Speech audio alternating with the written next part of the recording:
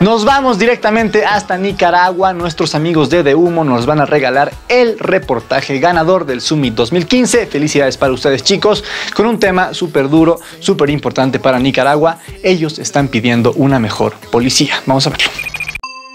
La familia Reyes Ramírez de Managua iba camino a su casa cuando de pronto agentes de la Policía Nacional rafaguearon el vehículo en el que viajaban.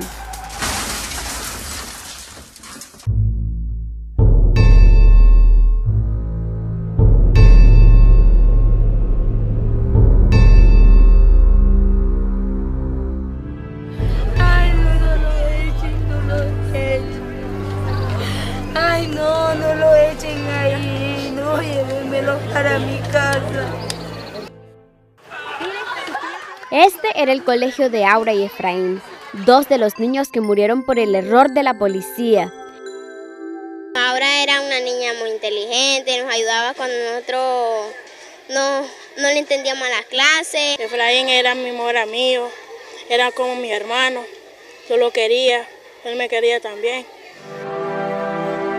Amigos y amigas de Aura y Efraín tienen preguntas que aún no son respondidas por las autoridades del país. ¿Por qué le dispararon? No se pudieron dar cuenta de que había gente en el carro. ¿Por qué no se dieron cuenta? Que en la cara a ellos, pues. Que ellos digan, nosotros fuimos para que lo encierren. Yo espero que se haga justicia porque la muerte que ella tuvo no se esperaba. Se esperaba una gran felicidad de ella.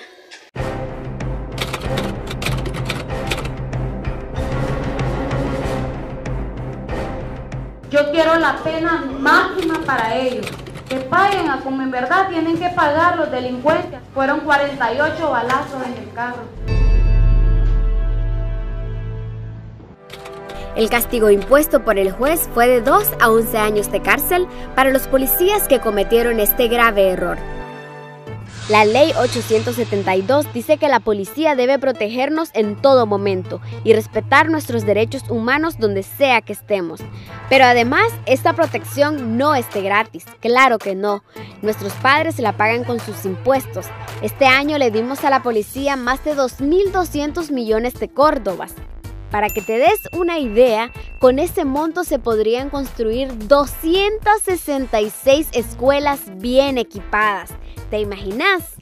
Pero ¿cómo sería el policía ideal encargado de nuestra seguridad? El policía ideal creo que sería una persona concentrada en su trabajo, que no se desvíe, que no se desenfoque. El entrenamiento que se le tiene que dar antes de lo que es su, for su formación en el cuerpo, yo pienso que su formación espiritual y su formación moral, porque de eso es lo que depende su cargo.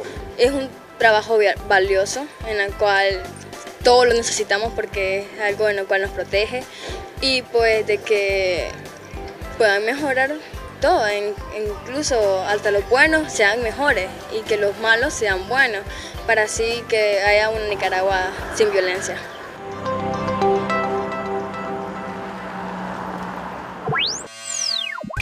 Reiteramos nuestras felicitaciones para nuestros amigos de De Humo, realmente se lo merecen, es un muy, muy, muy buen reportaje, muy importante, no solamente para Nicaragua, sino para toda Latinoamérica libre de violencia.